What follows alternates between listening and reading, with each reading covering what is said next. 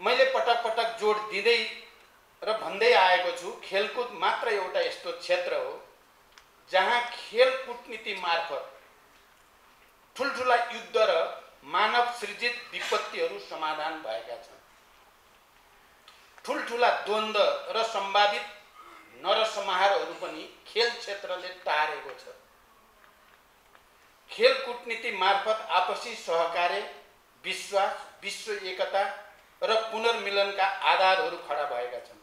खेल क्षेत्रको विकास राष्ट्र विकासको आज एउटा रणनैतिक र महत्त्वपूर्ण आधार बन्न गएको छ। नेपाल सरकार यस क्षेत्रसँग सम्बन्धित सम्पूर्ण नीतिहरूको प्रभावकारी कार्यान्वयन गर्न अपर्याप्त नीतिहरू निर्माण गर्न र संस्थागत एवं संरचनागत विकासका साथै क्षमता अभिवृद्धि गर्न प्रतिबद्ध रहेको जानकारी गराउन चाहन्छु। त्यसका लागि खेल क्षेत्रमा लगानी वृद्धि गर्ने खेलाडीहरूको आत्मस्वाभिमान र प्रोत्साहन पुरस्कारका साथै वृत्ति विकासमा थप योगदान गर्ने राज्यको भूमिकालाई प्रभावकारी र जिम्मेवार बनाउन सरकार प्रयत्नशील रहेको जानकारी गराउन चाहन्छु। यसअघि घोषणा गरिएको पुरस्कार खेलाडीहरूले आजसम्म पनि नपाएको भन्ने कुरा मलाई जानकारी छ। म एउटा कुरा केही प्राविधिक कारणले केही नीतिगत कारणले ढिला हुन गएकोमा म दुःख व्यक्त गर्न चाहन्छु। मैले नै खेलाडीहरूलाई घोषणा गरेको पुरस्कार नियमावलीको अभावको कारण भनेर त्यो निकासमा समस्या परेको थियो।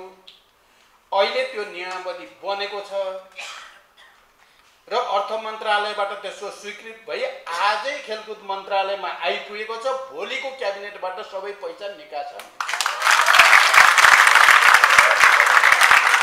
त्यसकारण सरकारले र प्रधानमन्त्रीले घोषणा गरिसकेपछि हुँदैन कि भन्ने टेन्सन तपाईँहरू नलिनु होला आउने दिनमा यहाँ अघि हाम्रो जीवन रामजीले केही कुरा बडो गम्भीर ढङ्गले मेरो ध्यान आकर्षण गराउनु भएको छ पहिला एउटा प्रतियोगिताको सन्दर्भमा दशरथ रङ्गशालामा त्यो विद्युत जडान गर्ने कुराको निम्ति पनि समस्या परेको थियो र मैले चिन सरकारसँग कुरा गरेपछि त्यो समस्या समाधान भएको थियो।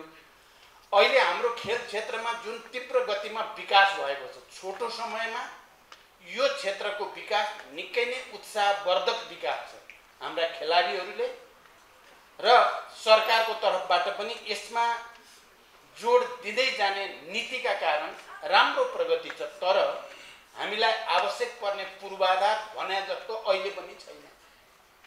त्यसकारण एउटा आधुनिक सबै सुविधा सम्पन्न रङ्गशाला बनाउने कुरा कभर हल बनाउने कुरा या विभिन्न विधाका खेलहरूको निम्ति आवश्यक पर्ने पूर्वाधारको कुरामा उहाँले ध्यान आकर्षण गराउनु भएको छ। म खालि अहिले यति भन्छु कि यो पटकको चिन भ्रमणमा खेल क्षेत्रमा केही उल्लेखनीय कामको निम्ति म पहल गर्नेछु यो विश्वास